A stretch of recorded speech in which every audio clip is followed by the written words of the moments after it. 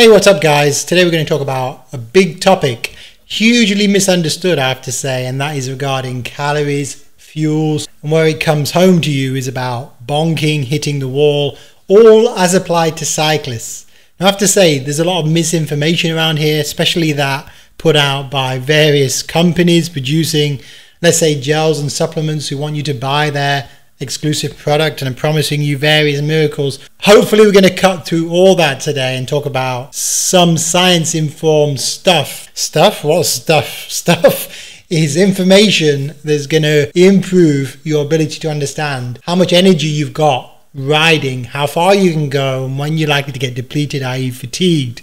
Now, for some of you who are not into science and stuff, this is going to be a horribly complicated video. Some of you who are way into science, more than me maybe, this is going to be horribly simple. I'm going to take lots of shortcuts and you're probably going to hate it. But the bottom line is we're going to produce a calculator today that's going to solve a lot of problems. I was looking for a calculator out there that would answer some relatively simple questions about how much storage do we have, how much energy do we energy do we use at certain cycling speeds or hours. And to be honest, I couldn't find it, so in the end, had to create my own. We've been somewhat helped here by our friends at cyclingapps.net because they're going to convert this to an app for us. But for now, let's get into the science of calories, fueling. You know, what's this whole area informed by? So let me give you a few headlines at the start. Well, First, your body is super efficient at using fuels, yeah? Your body is super efficient from an evolutionary point of view. It's very hard to lose weight, and if you eat unhealthily, you're going to put that weight on, and you know those little amount of calories will take you a long, long way. Here's here's a pop quiz for you guys. How far could you ride on, let's say, one can of Coke? 330 mils, 139 calories. Come on, guys, how long could you ride on that? Let's say you're a recreational rider, your FTP is mid-table or low, 150 watts. How far could you go compared to a pro, 322 watts, or Neo Pro, 350 watts FTP? Here's the headline. You could go about 6 kilometers or 12 minutes as a recreational rider, 7 minutes as a pro on one can of Coke. What about if you called in KFC, 3 pieces of chicken, 700, 750 calories? That will get you about 32 kilometers or 60 minutes of riding as a recreational user. Okay, here's a big one. What about Christmas or Thanksgiving meal? Well, the stats show we tend to overeat. That's no surprise, but around about four to 5,000 calories on that major Christmas or Thanksgiving meal, which, by the way, people often have every Sunday now. How far could you go on that? Any guesses, guys? Here's the answer 220 kilometers. Did you notice there in the stats, guys, something very interesting was happening? The actual distance ridden was about the same for the pro and the recreational rider. And that's because laws of physics dictate moving an object, the bike and your body over a distance is going to take a certain amount of calories. If you in, if you go faster, your intensity is higher, but you're on the road for a shorter period. So here's one of those quirks of calculations that if you can't be bothered to sit through this video, I don't blame you if you can't. But I'll give you a takeaway that you can use for pretty much all situations. And that is the amount of work in joules, the amount of intake that you need to cycle a certain distance is pretty much linear actually. And here's the rate, guys. Boom. It is one kilometer for every 100 kilojoules. Now, I know we're not all using kilojoules. If you remember, it's about four kilojoules for every calorie. But it turns out things aren't linear. They aren't linear because fitness improves so many things. It, it improves the energy efficiency of your body, how much energy intake you can convert to energy output. If you read online, people will say, oh, it's one to four.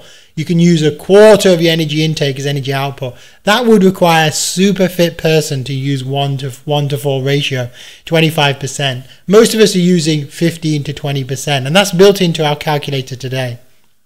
Fitness also improves your storage, not so much in terms of fats, because you probably have a lot of more lean tissue, less body fat percentage, but in terms of carb, actually glycogen storage, particularly around the muscles. It also improves the switch point from carbs to fats. So at a certain point, your body, because it's getting depleted on your glycogen or carbohydrate stores, it switches to fats and that is because you pretty much have an infinite amount of storage. Even lean individuals have a surprising amount of fat storage, maybe 70, 80,000 of calorie equivalents in your body. So you can pretty much think of your fat store as infinite. So if you look online, there's a variety of calculators that are out there, but you know, pretty much they're not good calculators because they haven't personalized their calculation to your cycling ability, to your fitness ability, to your VO2 max, to your FTP, to your cycling duration, to your cycling intensity, to your personalized weight, for example. That influences your BMR, your basal metabolic rate.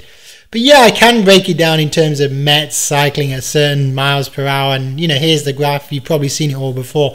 But that isn't that useful in effect. In fact, we have to really go into the science of energy systems in order to really crack this calculator and produce something that's much more accurate than just a simple chart on the net.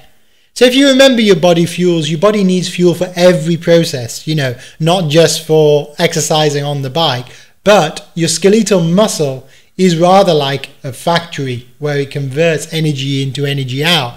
Energy in is the amount of energy you're consuming plus your storage, and energy out is the amount of power you're putting out, which is pretty much akin or correlated with your power on the bike. So if you've got a power meter, you've got an energy measure right there, and probably the power meter calculation, providing they're doing it correctly, is more accurate than I can produce on a calculator you know, remotely here. But many people don't have that power meter or not reading it accurately, or there's some problems regarding its estimate. Like the Strava estimate is a rather rough estimate if you don't use a heart rate strap or you don't use a power meter. So very briefly, guys, just to go into the science. Sorry if this bit is boring for you, but there's basically three energy systems: the creatine phosphagen system, which is short-lived but quite powerful your glucose, glycogen, or glycolytic system, and your aerobic system, which is where those little miracle mitochondria come in, your aerobic respiration, which converts fat and glucose or glycogen into energy, converting it to ATP or converting ATP to ADP. You remember that from your science, right? So let's say you sprint flat out for five, six seconds. What you're going to use is your immediate ATP stores. That will give you about 5% of your energy. You've got your CP system, which will use about, I mean, give you about 50% of your energy. And then the rest is made up with anaerobic effort right there, which is quite powerful. Ana- anaerobic glycolytic system is definitely a powerful system. Let's say you were to sprint for one minute, then you'd be using anaerobic for about 50%, aerobic glycolytic, you know, glycogen breakdown for about 50%, 50 50. But let's say you were to go an hour of power, like Bradley Wiggins' hour record, what would happen there? Well, there you'd be using aerobically fat breakdown for about 10%, and you'd be using aerobic glycogen breakdown for the remaining 90%. But here's where things get really interesting, guys. The switch over from carbs to fats is not a fixed place because your body actually preferentially wants to use, use carbohydrates. Now, of course, although fats are more energy dense per gram, Actually, if you look at it per oxygen molecule used or per liter of oxygen used, it turns out that carbohydrates are the more efficient system. If you work it out from the laws of physics, this formula is fixed by the way, glucose oxygenation to energy or heat would produce 21.1 kilojoules for every liter of oxygen consumed, whereas fat oxygenation produces 19.6 kilojoules for every liter. What that means is there's a 1 to 1.5 kilojoule difference, or to be more exact, a 7.6% difference between using glucose or glycogen as fuel and fats for fuel. Which is why, although you've got a near infinite supply of fats, your body actually wants to use carbs because the difference in that 7 to 8% is like the difference between being on the podium for the Tour de France and being mid pack. Or, sorry to bring this into it, the difference between being on EPO and not using EPO. So that's a huge difference in that 8%. Is a bit like if fat was in your car, fat would be diesel fuel, whereas carbs would be high octane fuel. Yes, we know fats are more energy dense, so you'd have to take in less volume of fat. So fats being energy dense provide roughly 9 calories. I'm talking kilocalories here throughout this video. Sorry to be pedantic. I'll just say calories. Otherwise, I'm repeating myself again and again. 9 calories per gram Protein itself produces 4 calories a gram, and you will use some protein stores. You will have some muscle breakdown, unfortunately, during an intense ride, but hopefully not more than 5 to 10% of your total energy needs. Carbohydrates, that's starches and sugars, are the least energy dense, by the way, providing just 3.75 calories per gram. Alcohol, by the way, is second most energy dense. If you want to fuel your ride on alcohol, you'll get seven calories per gram, which is a crazy idea right there. Cheers, come on, right up, bud. yes, yes, he's going. I'm coming, I'm coming.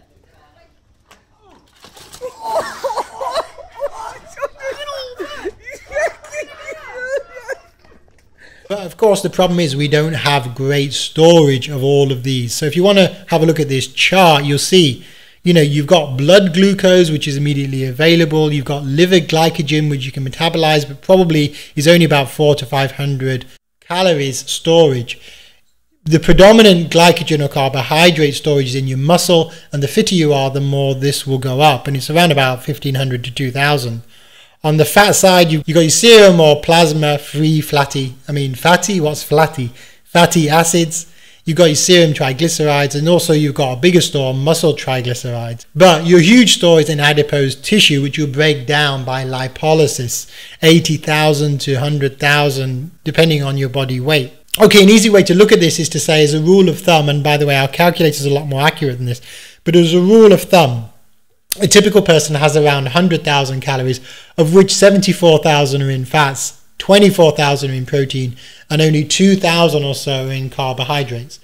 And when your carbohydrate stores are depleted, you're going to basically, in quotes, bonk or hit the wall. Now, that's not a switch. You don't suddenly run to zero. What actually happens is your body runs low on fuel, on glycogen. You're starting to metabolize more fats, and your body's protesting. Your body's saying, Hey, what's going on here? My glycogen's nearly depleted. Go easy, go slower, slow down.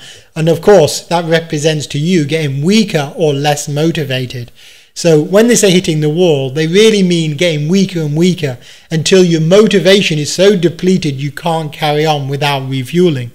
Now, when that exact point is, you're going to have to look at our calculator, and I might as well introduce this now. So here is the calculator, guys. So let's have a look at this calculator together. This has been the product of several weeks' work and working intensely behind the scenes to bring this to you. There's quite a lot of complex calculations going on in this calculator, but I've managed to simplify into what I think is the most user-friendly version. And we're putting this out there today. See the links below. So why don't we have a quick look at this together, guys? So basically this is our pacing, fueling, bonking calculator and it will enable you to work out your nutritional requirements for pretty much any race. Yes, any length of race and any ability. It's better here if you can work in you can work in watts or you can work with speed, but if you can work in watts and if you can work in duration, you know, if you put in your duration of your planned event, it will make the calculations a lot more accurate. So here I'm putting in, you know, FTP 277, planned event time 188. Now you can change the units, but like I say, this will help with the calculations. And you can see here, if I put in these requirements, it's telling me straight away that my pace is too high. If I want to run that pace and stay within my nutritional requirements, I'm going to run into problems. I'm going to have a high carbohydrate depletion. Now I can work out what benefit I'd get by putting in supplement intake into this box here. So I can put in, let's say 66 grams an hour or higher. I'm going to probably keep that fixed at 99. It's not really recommended to take more than 90 grams an hour. Otherwise you're going to have to take loads of water and you're going to get overhydrated. We'll talk about hydration in a future video. Now you can work in speed. Here's an example. You can change the metric from watts to speed. You can put in your average speed. So for FTP, you'd put in your average speed over like roughly an hour, and then you put in your event speed, and it will work out again whether you're going to be able to get to the end of that event at that speed. So for example, 44 kph, you can work in imperial if you want. 41 is saying, yeah, my, my pace may be, can, may be achievable, but it's likely I'm going to run into trouble and it will actually give me a suggestion on um, suggested speed. So here it's saying reduce your speed to 42 if you want to get to the end of that event with your fuels intact, i.e., not totally depleted. Look what happens if I change the event time, you know, does a calculation on the fly and it's telling me I need to reduce my speed. It gives me a suggestion. Now, if you try and keep your planned pace box and also your fatigue bonking risk box both in the green, then there's a higher chance that you're going to be able to finish the race. But for sure, you can tweak your intake So you can go back to that carb supplement box. So here I'm putting in an alternative value. I'm saying if I was to take in 66 grams of carbohydrate per hour, which is not necessarily an easy feat, and to reduce my speed to 31 kph, then would I make it to the end of the event? Would I be likely to make it based on my pacing calculation? And the answer is probably yes. Now, in our suggestions at the bottom of the sheet there, that is the suggested maximum speed to get to the end of the event. But you might well decide on a more cautious speed. That would be totally reasonable to do that if it was your first ride at that distance or if you weren't used to riding those distances. So, although we're suggesting a maximum pacing speed or maximum pacing watts, feel free to ride on the day at a lower speed. Okay guys, apologies, that's been a super long video on nutrition, on energy, on storage, on bonking, on carbohydrate, on carbohydrate stores, on fat, on switchover value, on fitness and how that influences your fuel status. But we've ended there on what I think is a super useful tool because it enables you to plan for future events and plan pretty accurately. There's no absolutely accurate way of doing it because as you saw in the video earlier, certain variables are highly personalized and there's only so much I can do from a calculator. But I think if you play around with the variables, you'll be surprised how accurate this is. And we're doing a validation right now based on other riders who've given me their data. And hopefully I'll report back on that soon. And I'm going to leave you with one enduring image of what happens when you get your fuel calculation wrong, when your muscles are burning so much energy and you haven't got the fuels from your skeletal or liver supply or your adipose tissue you know your the last part of your body to really be compromised is the brain. When your brain fuels are compromised and they cannot get enough fuels you get poor coordination you get delirium you can't operate your muscles you hardly know where you are. And that's exactly what happened to Jonathan Brownlee in the World Triathlon Championships. Did you see this footage? Wow it's powerful guys so that's all for today. Fast fitness tips, bonking, fueling, nutritional calculator. Boom, guys. Give it a go. Until next time, have a great ride and stay safe out there.